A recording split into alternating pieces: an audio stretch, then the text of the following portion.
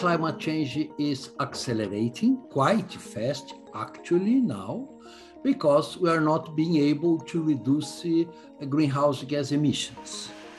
This is a strong message that we are changing the climate in an irreversible way. So basically, we are damaging the climate in such a way for the next generations that this will certainly make uh, the socioeconomic difficulties in the future much, much worse than in our generation.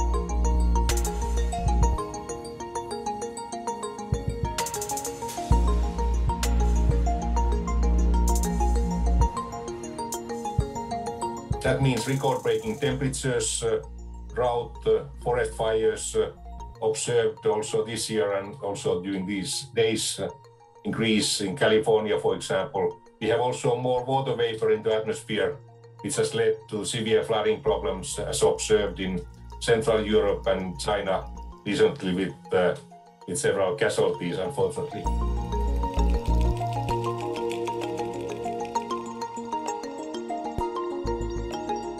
We also have to remember that these are all just symptoms of the climate crisis. We're not talking about the root cause itself, the things that is actually fueling these events.